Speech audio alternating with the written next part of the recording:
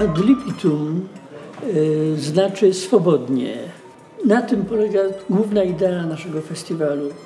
Jest to festiwal wolności, muzyki improwizowanej, warsztatów muzycznych, rozmów o muzyce, spotkań ludzi, którzy nigdy ze sobą wcześniej nie grali i nagle spotykają się na, jednej scenie i, i, i rozmawiają ze sobą poprzez dźwięki.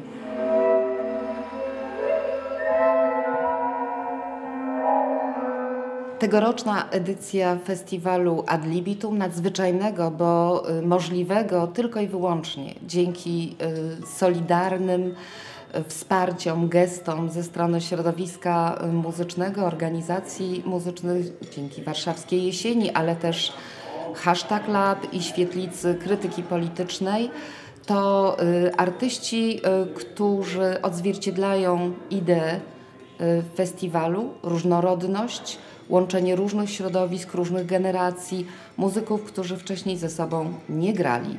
A więc multiflecistka Maja Miro, grający na portatywie Ryszard Lubieniecki, a wraz z nimi roboty, robotyczne rzeźby dźwiękowe Erika Brandala. To y, znakomity, zabawny y, i fantastycznie zgrany duet Kaja Draxler, pianistka, i grający na instrumentach y, perkusyjnych Szymon Pimpon-Gąsiorek i gwiazdorskie trio Steve Beresford, pianista, który y, grywał z legendami sceny muzyki improwizowanej, także y, kontrabasista, który traktuje swój instrument totalnie, improwizator najwyższej półki E, John Edwards i grająca z nimi Mandira de Saram, która zaczynała od muzyki e, współczesnej, e, zakładając Ligeti Quartet, a od kilku już lat improwizuje ze Steven Beresfordem i innymi znakomitymi improwizatorami sceny brytyjskiej i nie tylko.